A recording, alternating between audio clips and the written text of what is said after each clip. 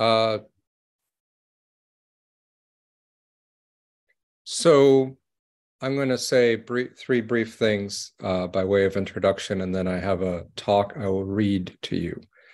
Uh, first of all, with regard to the form of the talk, uh, so I'm going to say three, three brief things. Uh, Sorry about that. It's okay.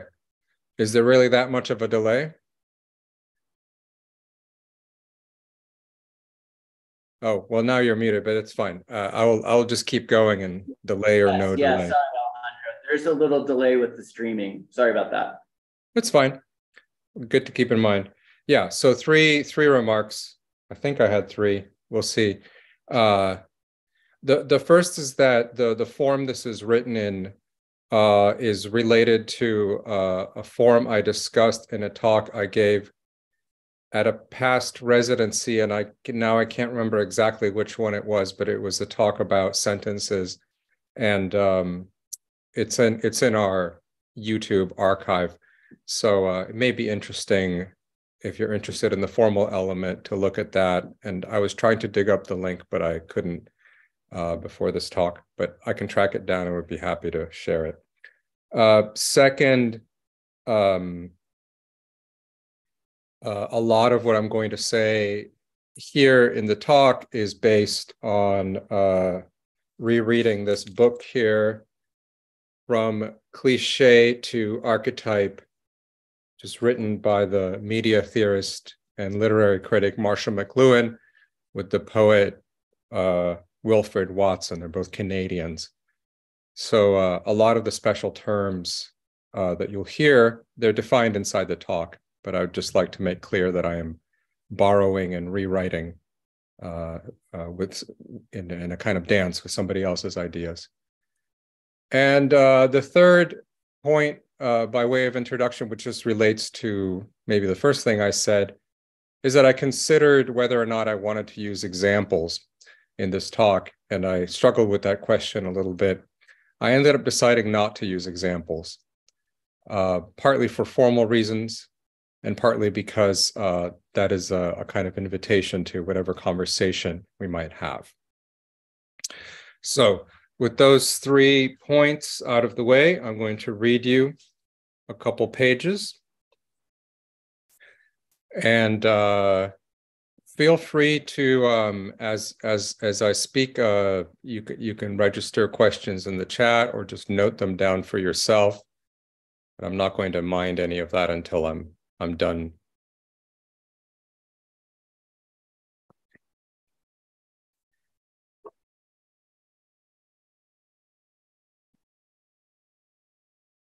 Recently, I heard someone read a poem accidentally full of cliches.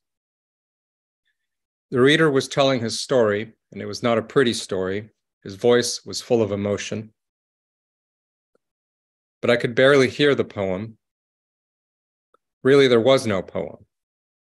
There was a dramatic reading of cliches. There was no poem.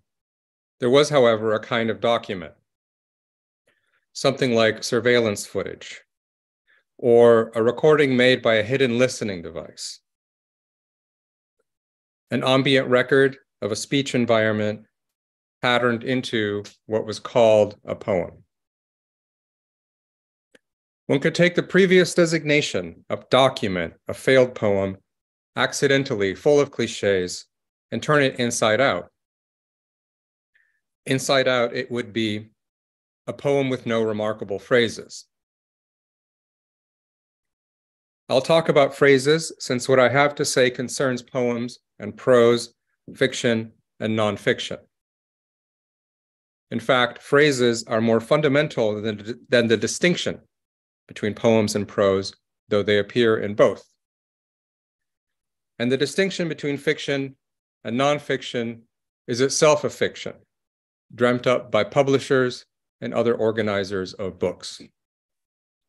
But phrases existed before books, and phrases will likely outlive the book. So think of phrases, think of a phrase. More than a single word, less than a sentence, enough for a line in a poem, but also perhaps part of a line, something hidden in a line in a poem. The phrase, if it's good, if it matters, is a probe.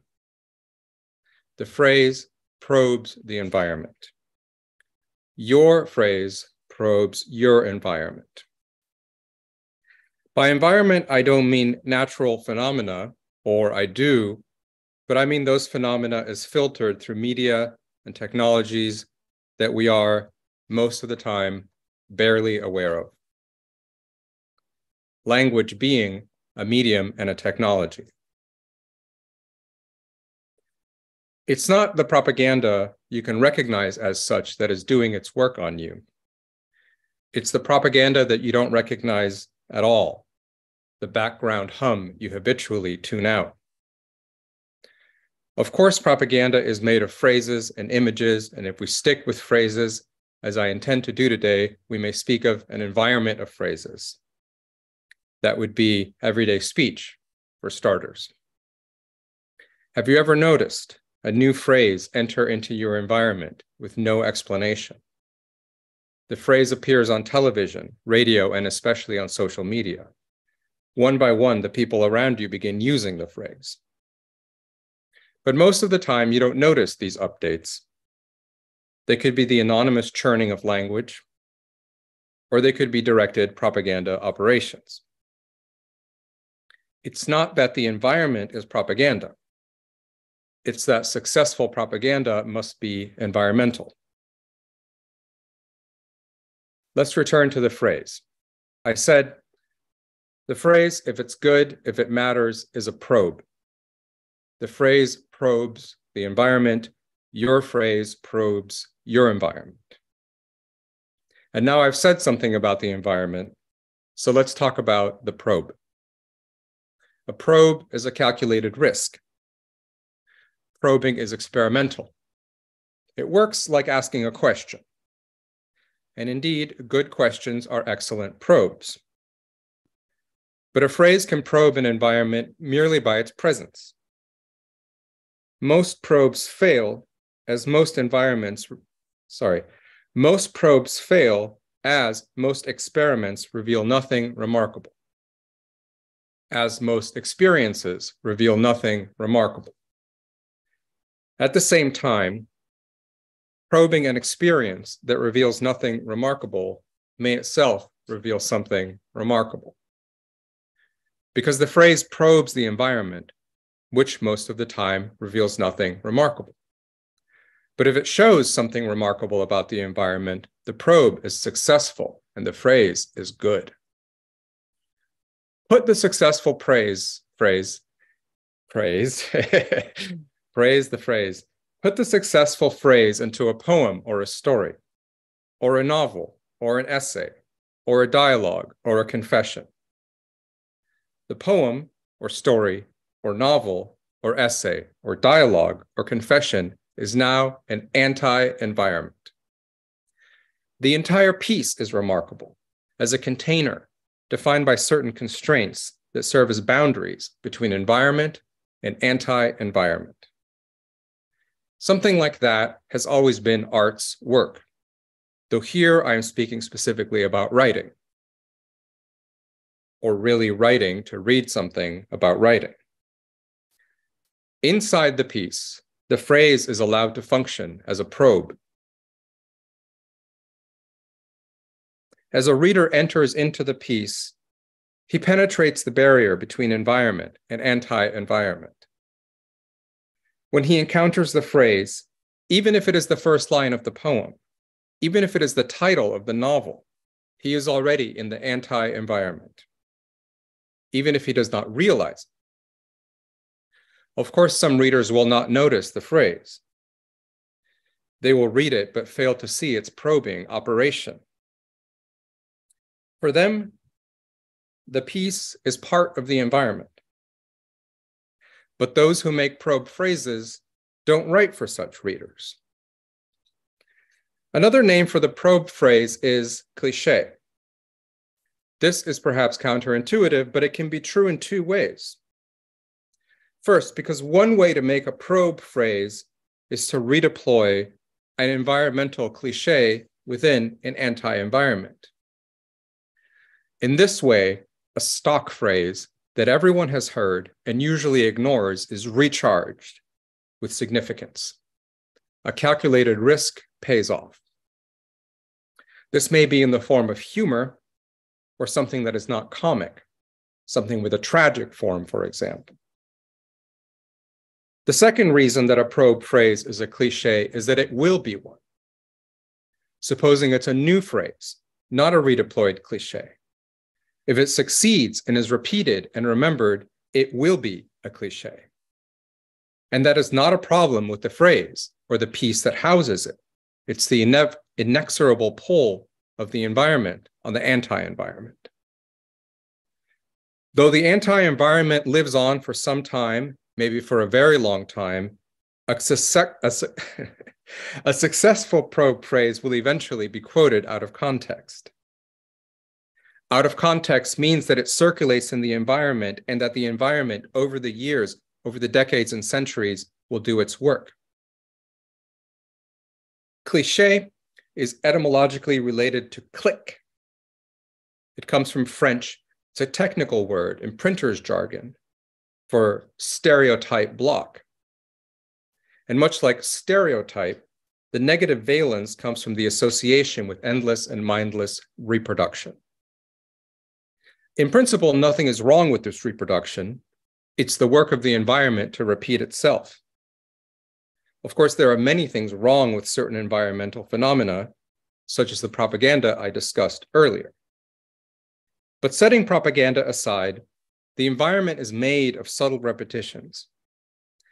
And the anti environment must, in many ways, repeat as well, but in a way that makes a difference.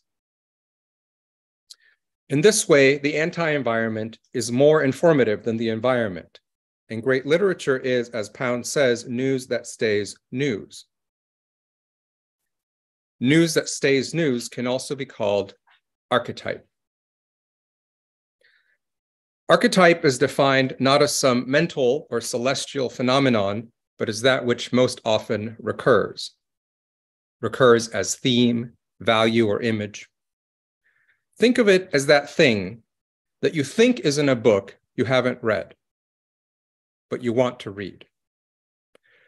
What you suppose is there, and supposing you aren't disappointed, what you find there. You may be disappointed because it wasn't there, or because it was there, but in a cliched form. In my language, this means there was no probe phrase. The old cliche, retrieved by the probe phrase, succeeds because it has archetypal resonance. In its retrieval operation, the probe phrase locates and redeploys the archetype through the cliche. Or, in the future, even as it becomes cliche, the probe phrase is available for retrieval as archetype. Why all of this time talk? Because the environment is largely spatial. It is actual space and it is an image of space. But the writer is a creator of phrases that probe into the environment. And to see if the probe phrase has made a difference, one must go farther than the immediate present. The whole history of language and literature must be open to the probe. Retrieval of the archetype is education, which is always counter propaganda and this is why I spoke of propaganda. Before writing, the cliche had its place as verbal formula in an oral environment.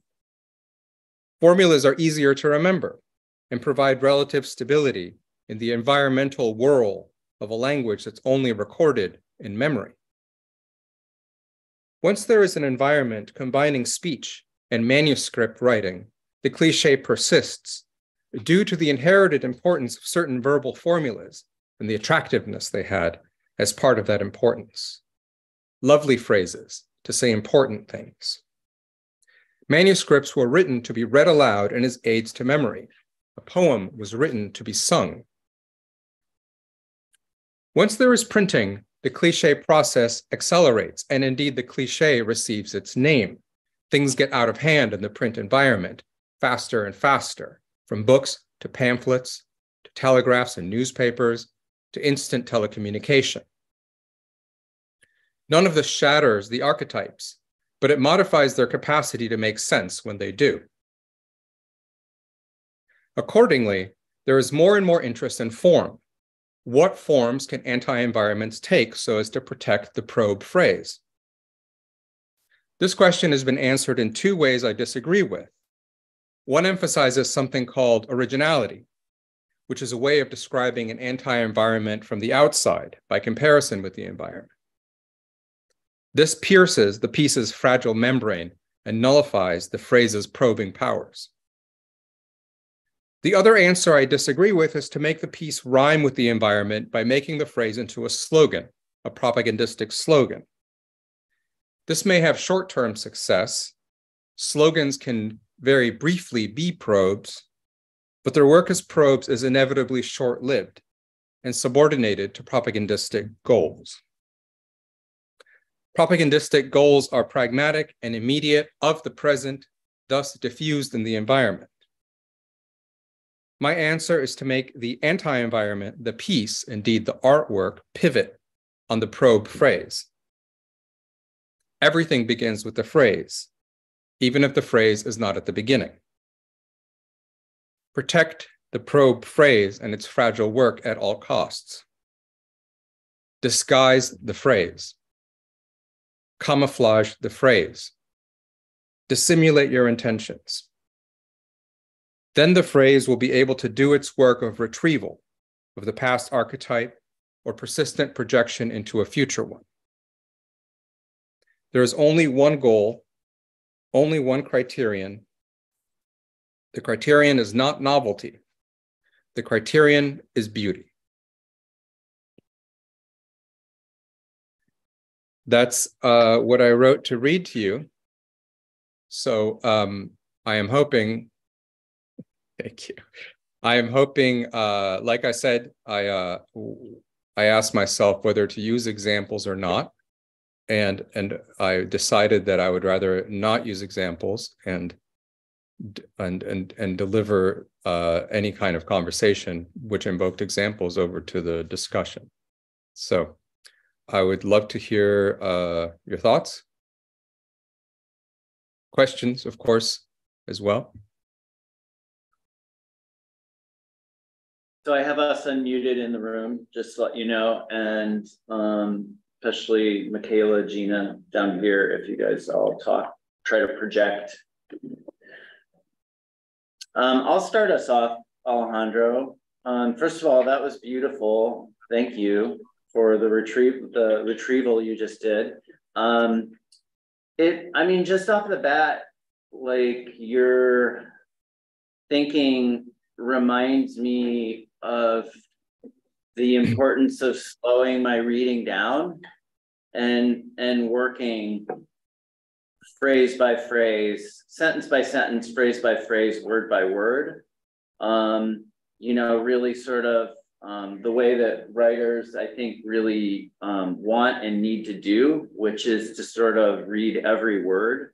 Um, I'm, I guess, I'm just wondering about your own kind of close reading practice, if that makes sense, or or like your, um, or what even what that brings up for you, um, just slowing down the process of reading, or reading more closely? Um, okay, I'll give you two examples. One is that um, this doesn't apply to every poem, but uh, with many poems that I appreciate uh, and that I've read many times, if I look at them long enough, I start to see littler poems inside the bigger poem right? So uh, let's imagine a poem that's 10 lines long. And at a certain point, I say, well, something that's happening between the end of the third line and the beginning of the fifth is like almost like a separate poem that is like housed or concealed inside the poem and that is a different poem. And so I start thinking of the what I originally thought of as the poem as a kind of container that is nourishing and protecting the littler one.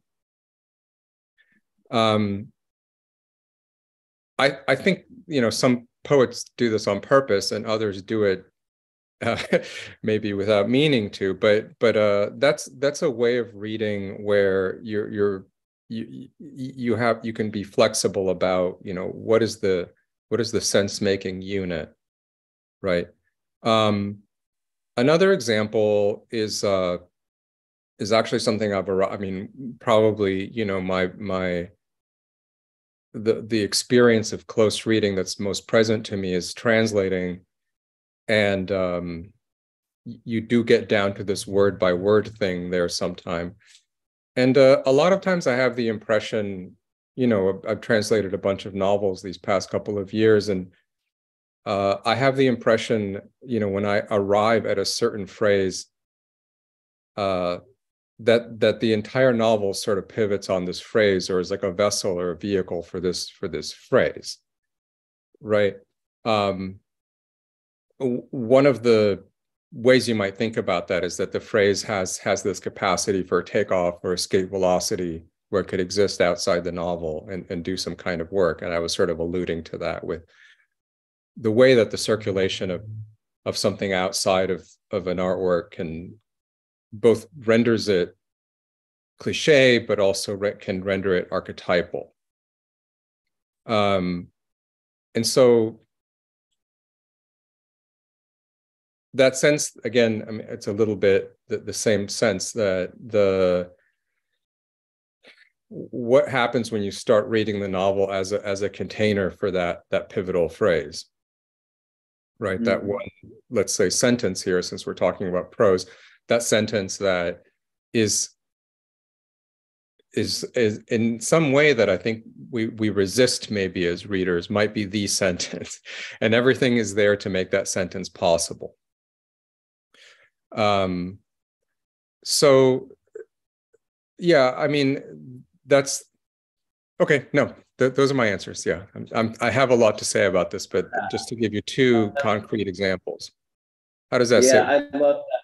Yeah, it sits well. I'm just thinking. Uh, I'm. I'll stop talking in a second, but like I feel that sometimes when I get to a book and it just moves into this, and Asi and I have been talking about this, but it just moves into this place that feels so expansive and unfathomable. And yet, like we've been traveling to that place all along, you know. Um, so yeah, that's really great. I like the way you're thinking about this. Thank you.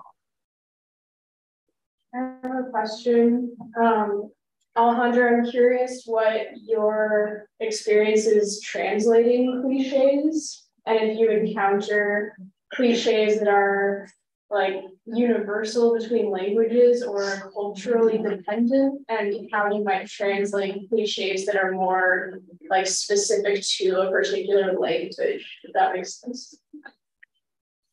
Yeah i i it's a good question. Um if if it's I mean, uh, it, it, it depends very much on the context, right? And in some places, you find a stock phrase in one language, and you recognize that it's doing the work of a stock phrase, and so the right choice is to find a, a comparable or analogous stock phrase in the language you're translating into. Other times, you have to ask yourself is the point of this stock phrase that it's a stock phrase, or is it there because of how it sounds or because of one of the words that makes it up? And so you need to, you know, for example, suppose you have a saying about a cow.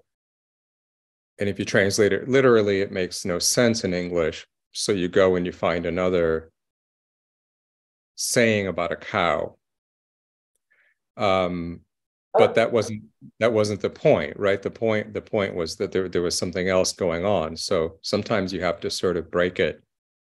Um i think that that uh yeah uh, it's it's not well it's funny right? But you can't have a stock way of translating stock phrases. You have to ask yourself sort of about about how they work and um what's going on in the in the you know, in the original such that this was invoked. the other thing, of course, is that sometimes there's stock phrases that you don't even recognize as such. Because we don't, no one has a complete, you know, catalog of these. Some of them are so common that you know them, and others might be, you know, local or, or particular to some place and time.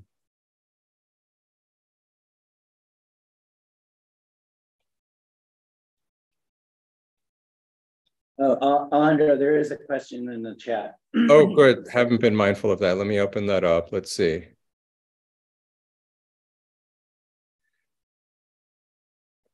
Um, so yeah, that that was that uh, question about beauty. Um, I was uh, I always think it's nice to end on a, a provocative note. Well, um,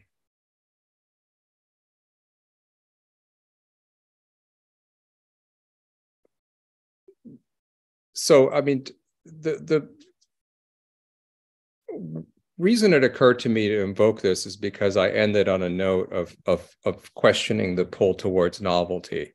In some sense, the whole talk uh, begins with a a reaction, a negative reaction to cliche in the poem I heard, and then it is trying to make more complicated the notion of of cliche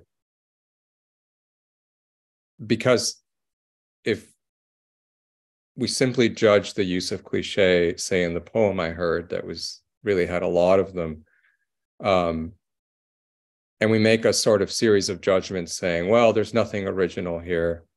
These are all cliches.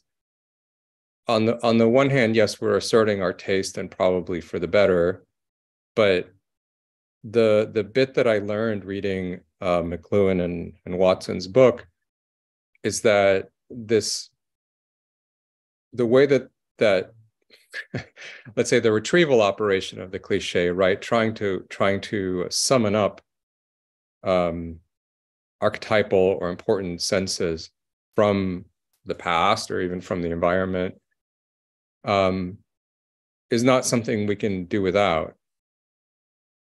And so when i started to think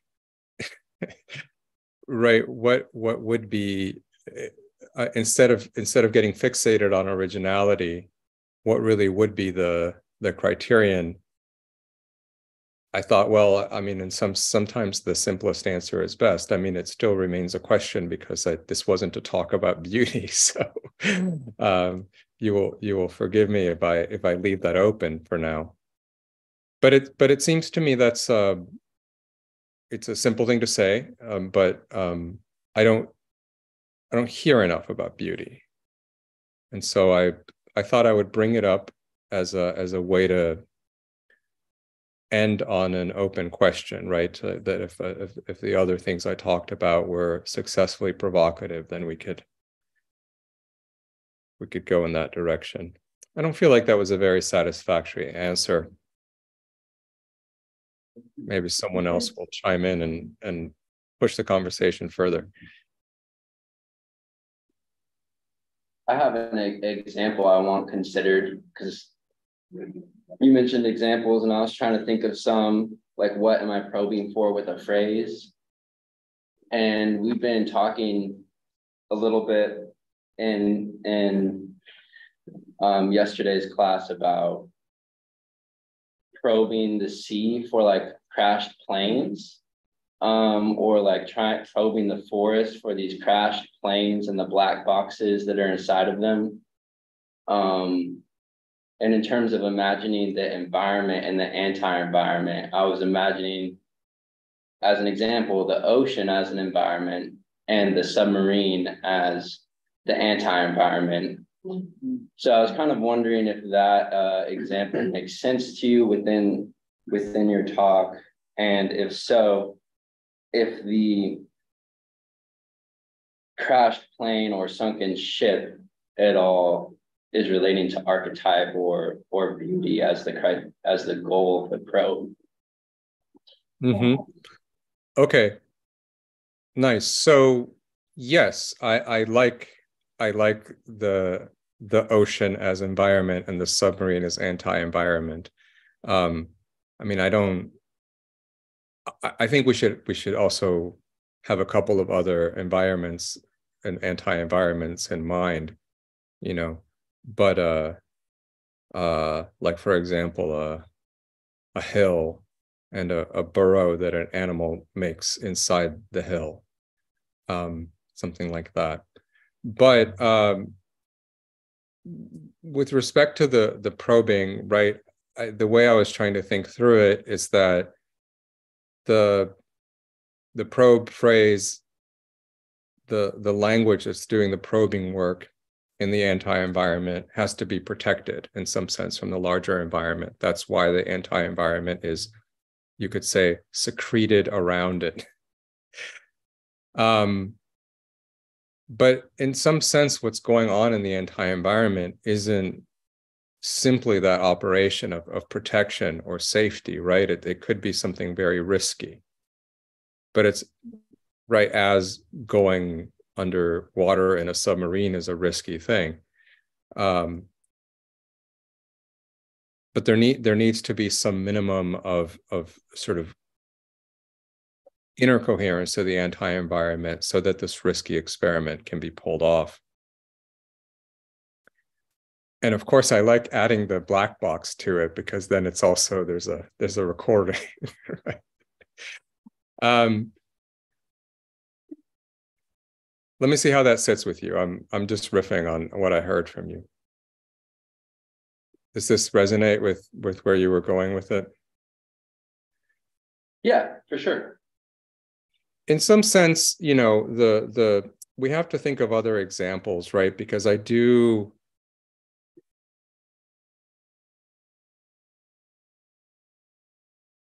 yeah i mean the the types of, of membranes or you know different kinds of boundaries that anti-environments have and you know i'm i'm using this language to to be provocative right but every time i say anti-environment you can just replace anything, any particular artwork, or for our purposes, any piece of writing, right? Where whatever constraints allow it to exist work to separate it from the wider ambient world of speech and in the and and the set it off right so that you know this will now this bit of language is a poem or this bit of language is a is an essay or you know and, and how, how does that distinguish? And, even right if you think about ambient uses of language like texting um,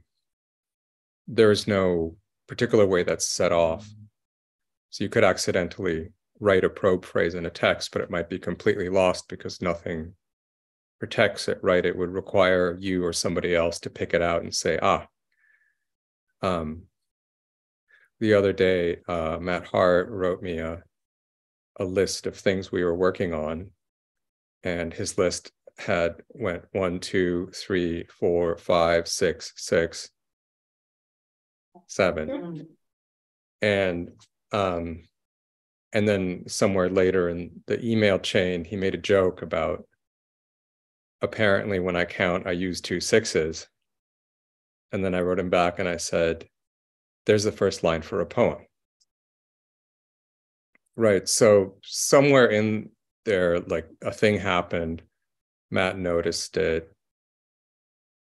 And then the phrasing when he noticed it was remarkable enough that I, I picked it out. Right. And so, of course, he did, he mm-hmm. says he did write a poem um, yeah so that that um that's a simple example right? But it's but it's like um something becomes remarkable to him and then uh, his his noticing it makes me notice it. And so you have you have the beginning of right of of uh there's a, there's a little bit of takeoff or or acceleration.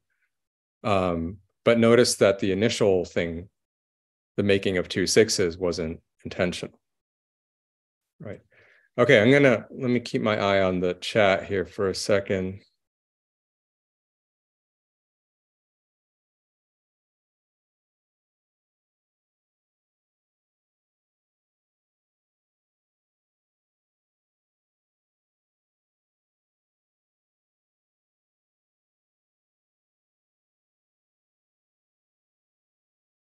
Yeah, um, I'm I'm I'm reading the bit about about Black Mirror, and I've only seen a, a, a little bit of it, right? But you you could think about that. It, it's a premise that's common to a lot of science fiction stuff. I mean, there used to be this, you know, the, even way before this, uh, something like Twilight Zone or, or what you will, and it, it's you could see these as based on a question, right? Like, what if such and such happened, or what if the world was possible? And then you you you sort of continue to answer that question and create a, a sort of closed space more or less closed, at least a defined space in which you're, you're allowed to explore it, right? So you get like one story in which that question is answered in the affirmative yes, this is possible. But of course, it suggests any number of other possibilities. You're just getting one story in, in the world where this, this possibility has been turned on, so to speak. Jess, I see a hand. What's up?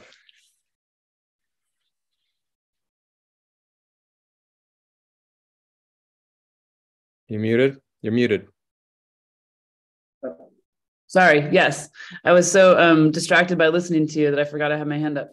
Um, I was. This has been great though, and I've been getting a lot out of your language around disguise and probe and container and you know setting off, um, finding language that works against like kind of the pre-existing swarm of language to set something off. And um, I guess I find myself coming back to this idea of um, making something, right? And like you give kind of two, you've laid out kind of two examples where a poem might have intentionally have like this kind of tender or astral moment inside it that the poem is protecting, or it might unintentionally have it.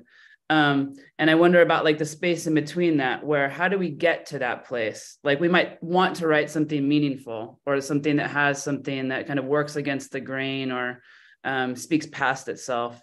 Um, and I'm not certain that we can always predict how to do that when we start in, or embark on a piece of writing. So I'm wondering about you and your own writing and your own reading and how you imagine kind of the conditions of making something that might have that encapsulated thing. Um, can you just get in the submarine to begin with, or do you have to kind of find yourself in the submarine later? yeah, maybe why I was, uh, uh, although I appreciated the example, I think it's important. You know, like I said, I wrote I considered writing the talk with examples, and then I I felt like somehow it would get too too polluted by my my own taste, right? And so I decided to leave it at a somewhat abstract level. But then, you know, as much as I appreciate the submarine example, I, when when you start getting examples, you realize that you can close off right what what other you know sometimes this this more abstract language allows. Um i would go back to the sense of of probing. I think that you can in some sense when i say well the phrase i used at the end um dissimulate your intentions I think I meant in in in both in the sense of dissimulate them to others and also dissimulate them to yourself. And it seems like uh, in many many cases you you set out to write something for some out of some impulse or for some reason, um, and then it turns out that the the part that's important was not what you thought there was to say, but something else that that came out along the way and I, I also think this is this is one reason that practices of of of you know everyday writing you know where where you you don't write only when you're so to speak inspired or have strong emotions or whatever it is that that, that drives you to write but you write as a matter of fact or as a matter of course um, it allows you to um, perform this experiment in many different moods or states of mind or intentionality. But the I think of the probe phrase as, as a kind of instrument, right? That ought to once you can see it doing its work, right? So one straightforward example, since I was talking about cliches, is you would adopt one of those phrases that pops up that people start using, and you would put it into the anti-environment of, say, a poem or an essay, but you would do it in a way where the context makes it clear both that you know what you're citing and that you're misusing it or reusing it or uh yeah doing something with it right so in that case curiously, the phrase itself is not your invention. It's it's more that it, it's become part of your decision to deploy it there and see what work it can do in this in this other environment. So partly you're examining it, and partly it's it's now able to uh, break off from its kind of anonymous work, right? Um, so you know, I was giving the example earlier of Matt's remark about the two sixes, but that's that's a joke between between friends, right? This isn't a phrase that has right. It's it's pleasing because of its absurdity, right? But we could also think about doing this with with very heavy phrases, with with phrases that seem very difficult to dislodge from their accepted meaning. Um, in some way, then, you know, when you redeploy it, it seems wrong to simply say, well, I'm going to intentionally make it mean something else, right? You yeah, that could succeed, I suppose, you know, in a, in a polemical way. But it's it's a little bit like what happens if we put it in this other space and see see how how it interacts with with this new uh, anti-environment. How does that sound? Thank you. Yeah, no, that's great. Yeah. Okay. Um, I see a, a hand from from Shannon. How you doing? Hi, Alejandro. How are you? Good. Nice to nice to hear you. Yes, nice to speak with you. So, um, in the last section, you mentioned context, and I am wondering in in your your you know big talk, um, when you are referencing closely reading, right, and like taking things down to the the word word level, right? And like line by line, really close reading. Um, I'm wondering at what point you kind of, and you can speak entirely for yourself, at what point you kind of realize like, oh, I'm going too hard at this, right? Like I have now, I've now like worked on the words to such a level that I am losing the context, right? And at the beginning, you referenced this poem that was being read that was so heavy with cliche that you couldn't really focus on the poem, right? Instead, it, it, sort of became like you went into like teacher mode where you were just like, no, here's where like this is a cliche, this is a cliche, this is a cliche. And it sounds like you you kind of found yourself not being able to connect with the emotions of the person that was writing this. And because of that, like, yes, they were doing it through cliche, but they were still doing it from this this place of emotion. They were trying to express themselves and like at what point do you have to kind of just step back and like not not only let people feel their feelings but also step back and and realize that like by replacing words or choosing different words you are you are separating the context and the meaning that was meant by those cliches. And again this can be entirely from your perspective of like when do you realize oh this is what i'm doing? Like i've i've now separated the the meaning that someone was trying to evoke by replacing these words. Okay. Um, let's see. So first with the the example I opened with, um, the the writer I heard is and completely entitled to his emotions. I don't question the emotions at all. Um, I was talking about whether and and again i mean i understood those emotions because i heard the poem read um but i didn't i didn't feel much of anything about the poem. I was more i was more you know i wasn't it wasn't very different experience from listening to uh someone simply tell a story about something difficult in, in their life in an in an everyday way right? Not in a way that's that's sort of set off as a piece. So uh, some of that may be a matter of taste. but um,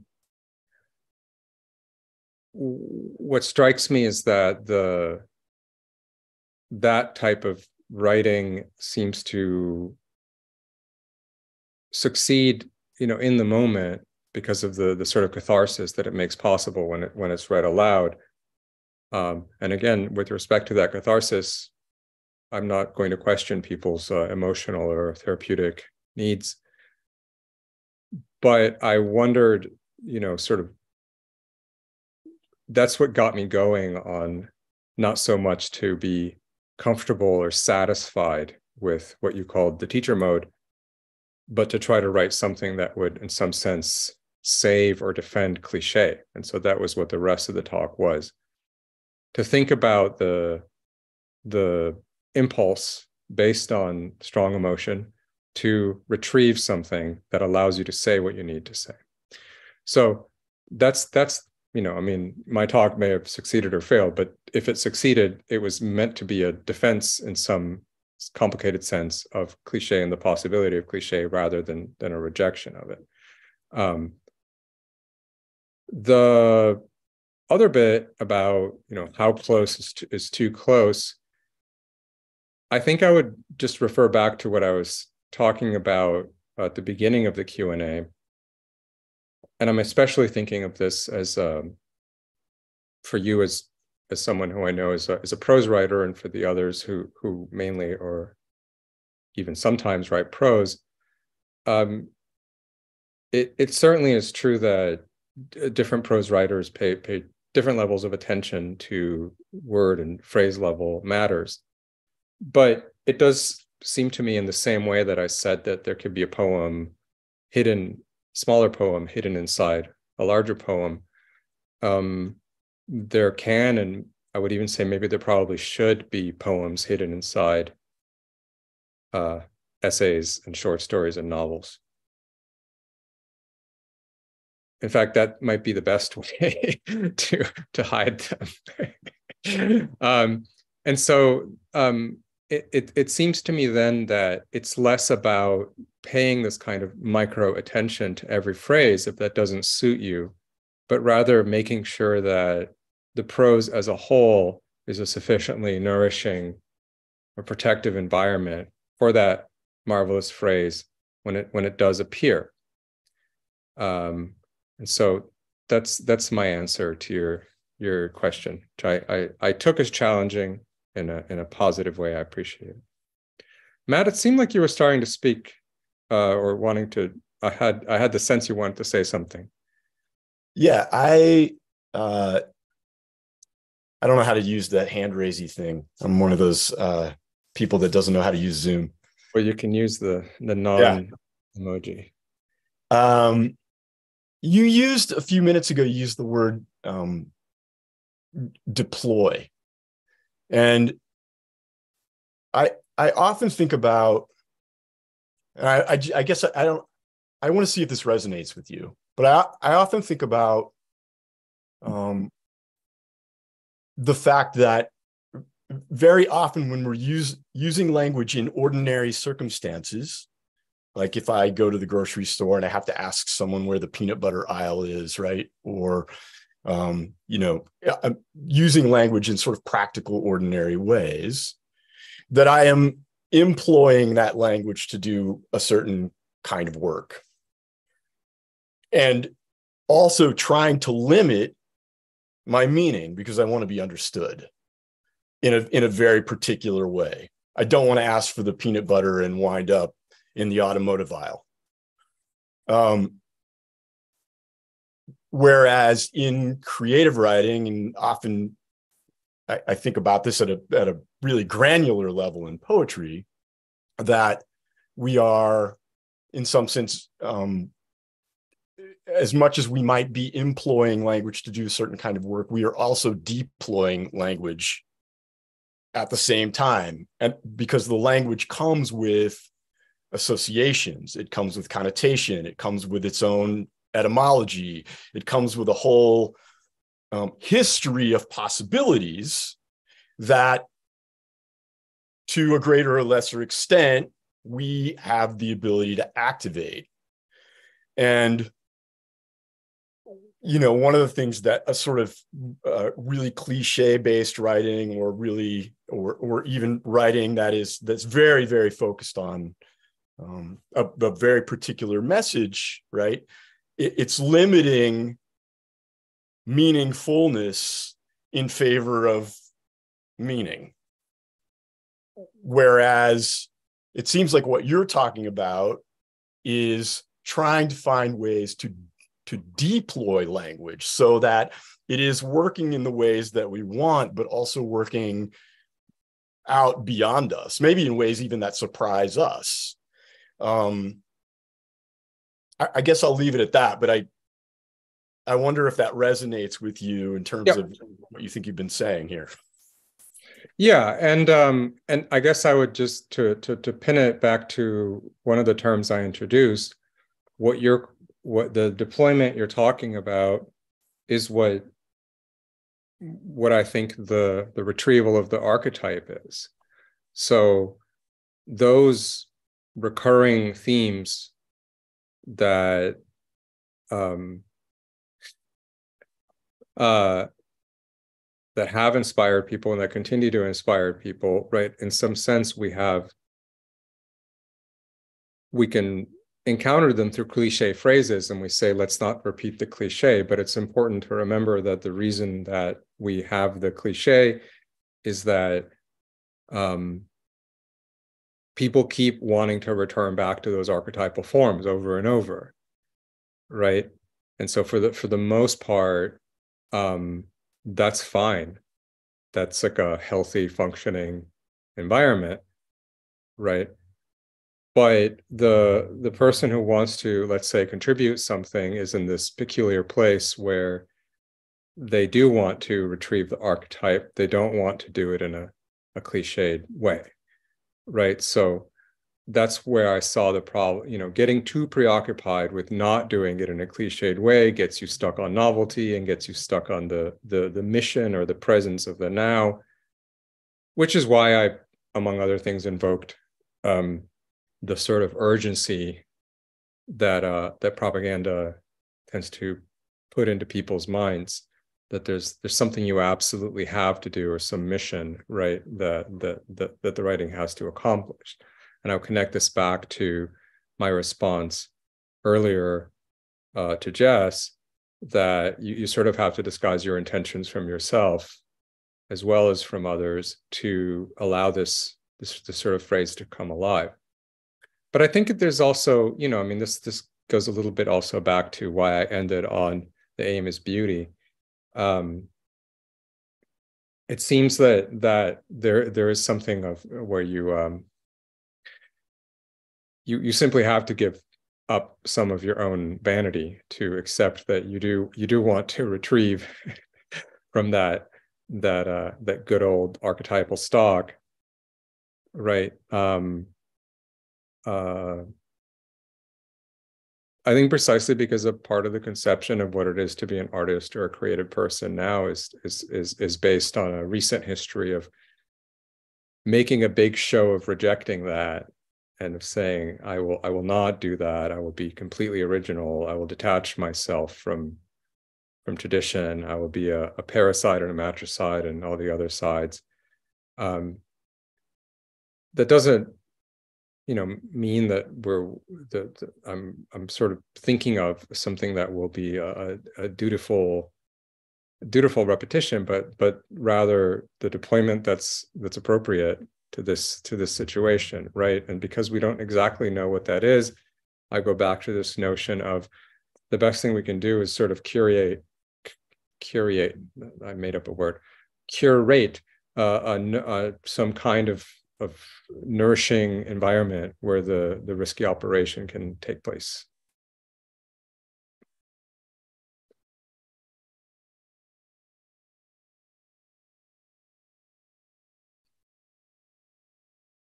Anyone else want to?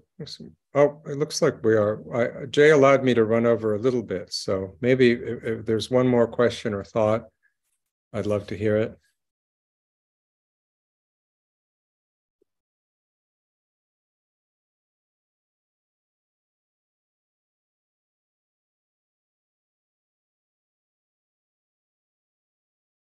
All right. thought, but it's Oh, Oh, Go ahead. we have a thought, no, okay.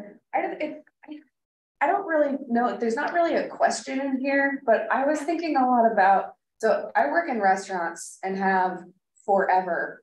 And I was thinking a bit about like the shorthand of knowledge, like if you've ever worked in, you know, behind you, corner, I scare people in like the locker room at yoga all the time because I say corner when I walk around. Hmm. Um, I was just thinking about how the word choice that we use kind of either on the page or in conversation can I don't know if it becomes cliche, but like creates community, but also kind of identifies your audience in a way. And like, there's not a question in here. This is just what's been bouncing around my brain. Um, but yeah, that that's just kind of what I've been working with Yeah. and using. of what I'm talking about. right. Oh, God, sorry. I'm sorry. Did I cut you off or were you? Nope, not at all. Okay, it's the the delay. Um, uh, yeah, two two thoughts. One, just a practical thing, right? Which sometimes examples help.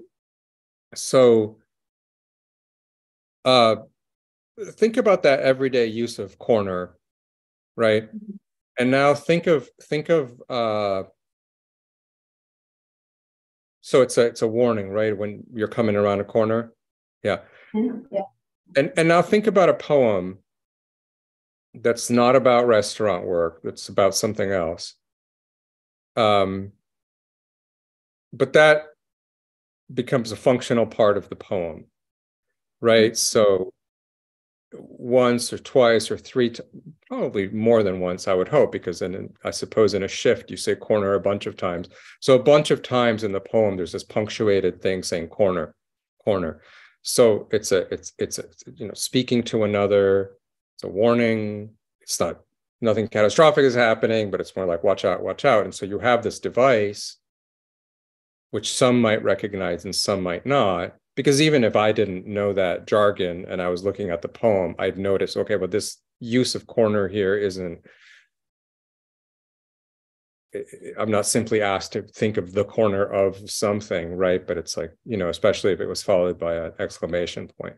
So that would be a simple example, right, of, of, of picking up a phrase out of the environment and redeploying it inside an anti-environment where it retains some of its significance, but now we can start thinking about not just the practical thing of I gotta say corner every time I do this so I don't crash into somebody, but more like what is the experience of a bunch of people working together such that with these small you know bursts we kind of weave a verbal web which is itself you know one element of a larger social web of like a team of people work you know you see what i'm going right? And so you could you could you could for example write not about a bunch of people at work but about a family and even though family doesn't necessarily have a word like corner right that could stand in. So that's that's one of the thoughts. And now i already forgot the second one. There was something oh yeah. This is also why again uh, although i like the submarine i also don't want us to only think of the submarine right? Um be, because because there is and i think i talked about this uh, right I, t- I talked at one point about the the the separation between the environment and the anti-environment being like a fragile membrane. It doesn't necessarily have to be like a hard you know the metaphor doesn't have to be like hard you know steel that can withstand crushing things. There has to be some porosity so things can be pulled off and reused in the, in the way i just illustrated. Um and so there you know like i said like the burrow is interesting because the the burrow is a hole dug into an environment such that right there can be an anti-environment to to to, to live in okay um We have time for one last question. Yeah, yeah, yeah. Um, i think Okay, so last, last question. Stella. Yes, hi. Um, I just want to piggyback off of I, I I won't waste too much time. I know because we're out of time, but just to piggyback off of the uh the question just now, I was wondering because as I was listening while you both were talking, I was thinking about like random phrases we would say like in everyday life. Like sometimes I would say something like almost like censoring in a way, like when sometimes if they say like some as an alternative to like saying the word fuck, I would sometimes say flipping burgers, like out of nowhere, almost sporadic. Mm-hmm. Would you say that kind of applies to what we just talked about when it comes to like short knowledge or like if someone say corner at a restaurant when it comes to like writing a, a poem or a, or a prose? Um yeah, this is this is the big question, right? But let's start by noticing that we couldn't possibly write creatively if there wasn't already that pre-existing capacity we have to replace one phrase with another and uh, and have it still make sense actually have it make sense at a double level because it it both has the original sense and then it has the sense of and i'm and i'm covering it up right?